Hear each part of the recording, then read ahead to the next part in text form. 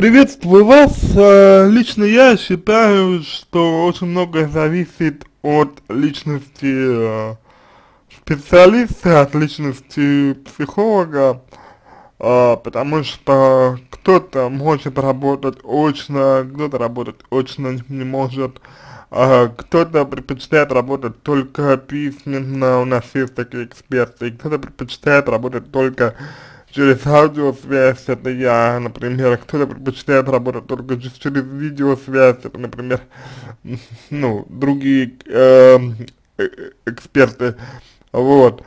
А лично я думаю, что все зависит от э, личности психолога и от того, э, какими методами человек пользуется.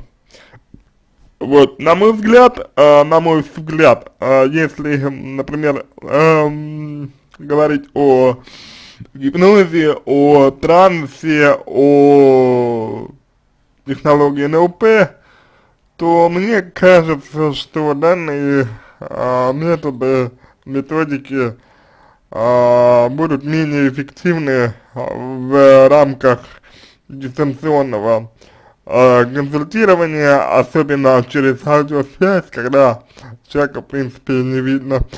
Более того, я считаю, что подобные методы э, по аудио э, по тексту и по видеосвязи, они опасны, потому что человек находится далеко у себя, в общем, в общем э, последствия, на мой взгляд, могут быть непредсказуемы и э, как бы использовать данный вид работы, ну, следует очень осторожно, делать это можно только опытным э, специалистам.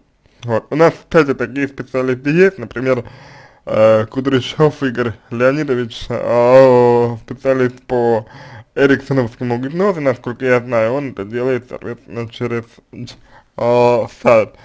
Но, ну, судя по там, тому, что он а, ну, судя по отзывам, у него это получа получается, лично я не знаю. Вот.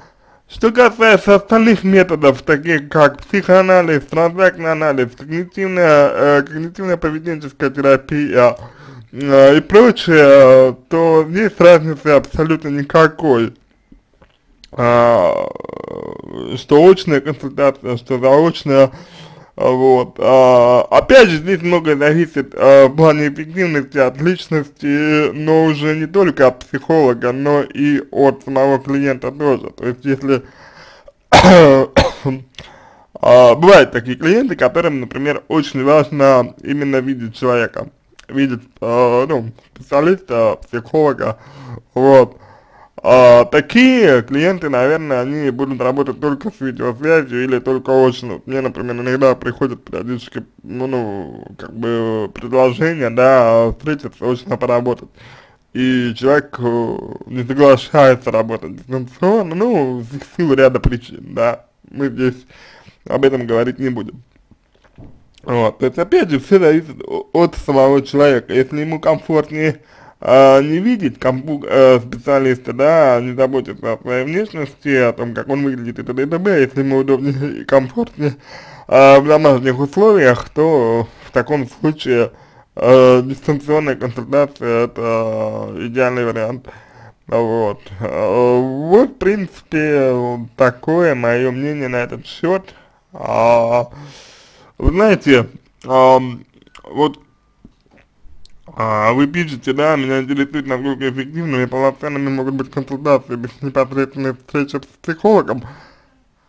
Вот, а, то есть чате или по аудиосвязи, если честно, немного странный вопрос, с учетом того, что у вас есть уже золотой статус, да, то есть вы явно оплачивали какие-то услуги, а, вот, и мне кажется, что насколько эффективными, в первую очередь, зависит от вас, то есть эффективность зависит от самого клиента. Как клиент расположен, как клиент настроен работать, настроен ли клиент меняться или нет. А, как это влияет на психотерапию в целом? Также, то есть процесс протекает также. А, может быть, напротив, такой вид консультации имеет свои преимущества. Да, такой вид консультации имеет свои преимущества, Ольга, это безусловно. А, вот, в принципе, так можно ответить вам на ваши вопросы. Несколько странный, надо сказать, текст. Мне кажется, что это а, у вас что-то вроде либо размышлений вслух, либо э, может быть какая-то реакция на какие-то события.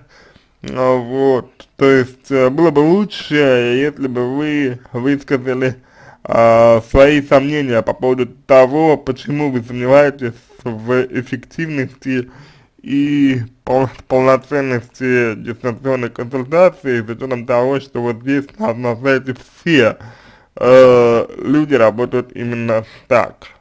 То есть у вас основания для недоверия и как вы э, это самое недоверие выражаете, да, то есть если у вас есть, например, э, почва для сомнений, то, соответственно, именно об этом нужно говорить. На этом все. Я надеюсь, что мой ответ помог вам. Если у вас остались вопросы, пишите в личку, буду рад помочь. Если вам понравился мой ответ, буду благодарен, если сделаете его лучшим. Я желаю вам всего самого доброго и удачи.